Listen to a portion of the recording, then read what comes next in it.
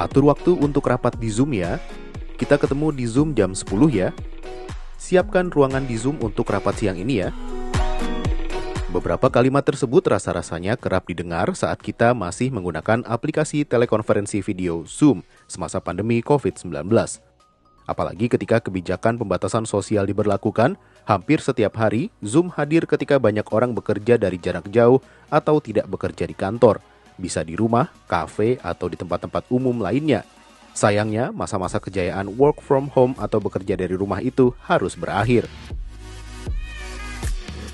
Zoom sudah meminta karyawannya kembali bekerja di kantor dua hari dalam seminggu. Namun, ketentuan itu untuk sementara waktu khusus bagi karyawan yang tinggal dalam radius 80,4 km dari kantor. Zoom yang menjadi andalan publik untuk berkomunikasi bersama dari jarak jauh dan identik dengan pekerjaan jarak jauh ini akhirnya memilih memperlakukan pendekatan cara kerja campuran. Kerja di rumah dan juga di kantor adalah pilihan efektif bagi Zoom serta akan diberlakukan pada bulan ini atau bulan depan.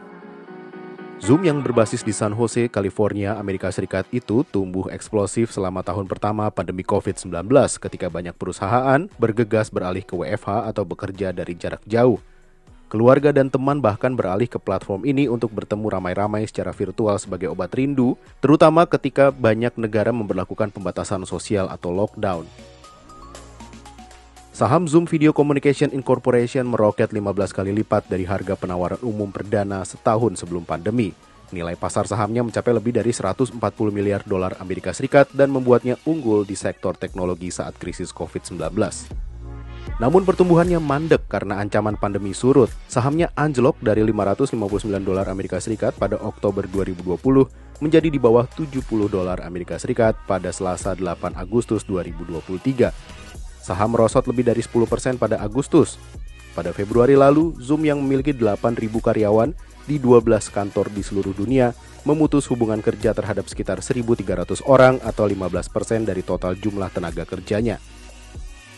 Bagi banyak karyawan, bekerja dari rumah atau jarak jauh selama pandemi COVID-19 bisa memberikan kesempatan untuk mengevaluasi kembali hubungan mereka dengan pekerjaan dan mengembangkan keseimbangan kehidupan kerja yang lebih sehat.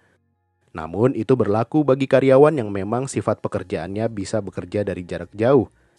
Jauh sebelum pandemi, karyawan yang bisa bekerja dari rumah dapat berpenghasilan lebih banyak dan lebih bahagia ketimbang mereka yang bekerja di kantor. Namun, di mata perusahaan, Bekerja di kantor tetap cara kerja yang akan meningkatkan inovasi, koneksi, dan kolaborasi.